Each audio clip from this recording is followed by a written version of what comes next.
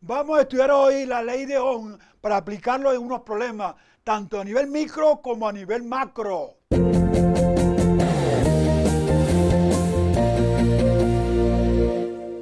Problema número uno. Cuando conectamos una lámpara de la cama a una batería con una diferencia de potencial de 6 voltios, se observa que su filamento es recorrido por una corriente de 2 amperes. Allá la resistencia del filamento.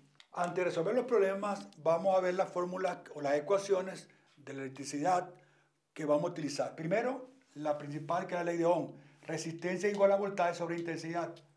Deduciendo de allí que voltaje igual a resistencia por intensidad e intensidad igual a voltaje sobre resistencia.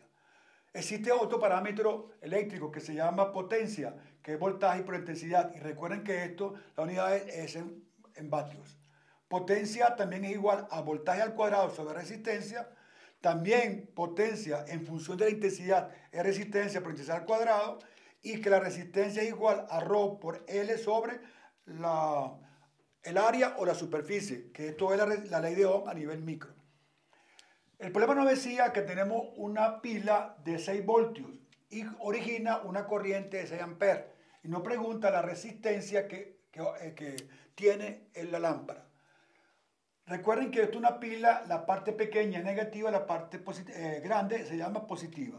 Se, acordó por convención que en los gráficos la, corriente saliera por la parte positiva. Lo pide la resistencia. Resistencia es igual, según la ley de Ohm, voltaje sobre intensidad. Aplicando el, concepto de valor numérico, sustituimos voltios por 6 voltios, intensidad por 6 amperes. Dividimos y nos da 3. Recordarán que voltaje sobre amperaje nos da ohm. Problema número 2. Si una lámpara es conectada a una batería de 1,5 voltios y tiene una resistencia de 3 ohm, allá la intensidad de corriente que pasa por el filamento. Tenemos el segundo problema que nos dice, una batería que tiene un voltaje de 1,5, un receptor que tiene una resistencia de 3 ohm y nos pide qué intensidad de corriente pasa por ese receptor.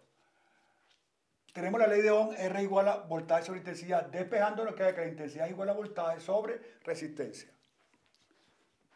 Sustituyendo los datos basados en el principio de valor numérico, voltaje 1,5 voltios, eh, resistencia 3 ohm, dividiéndolo a 0,5 amperes. ¿Qué significa eso?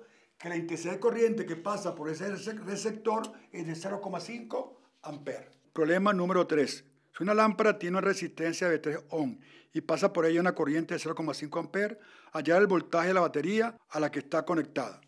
En este tercer problema nos piden calcular el voltaje, pero no dan el voltaje que tenemos que calcular, la intensidad que sale de la pila, 0,5 amperes, y la resistencia que tiene el receptor, que es 3 ohm. Aplicamos la ecuación de la ley de Ohm, que dice que resistencia es igual a voltaje sobre intensidad. Despegando, como está dividiendo, pasa multiplicando, y nos queda que el voltaje y resistencia por I.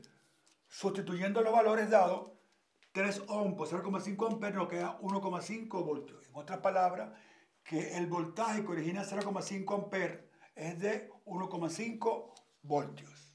Problema número 4. Si una lámpara tiene marcado que puede recibir 5 voltios y pasa por ella una corriente de 0,5 amperes, hallar la potencia.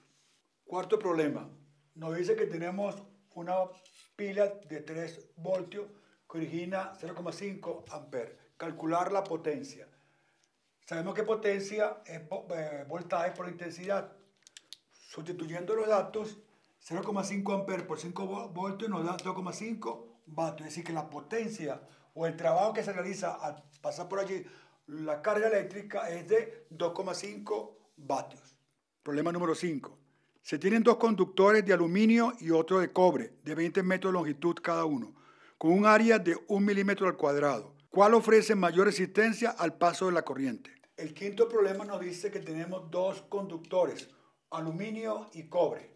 Nos dice que la longitud de los dos es 20 metros, el área de las dos es un milímetro al cuadrado.